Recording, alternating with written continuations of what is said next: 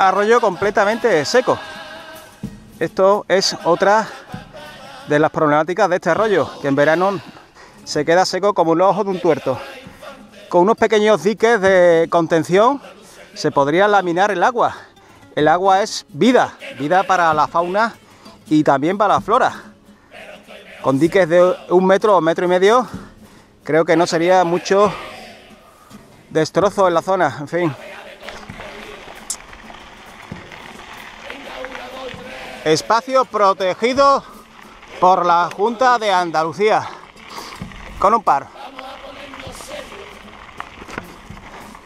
Y ahora vamos a visitar el mirador que se construyó con fondos europeos y que nunca se inauguró, señores. Nunca se abrió al público.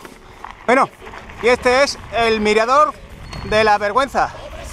Ya se están llevando los palos y fue construido con fondos europeos. Casta. Aquí estáis viendo.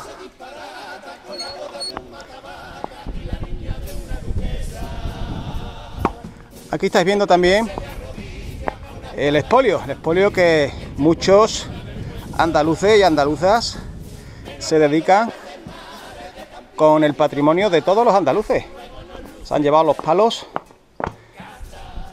para sus parcelitas. En fin, esto es lo que tenemos. Marca Andalucía.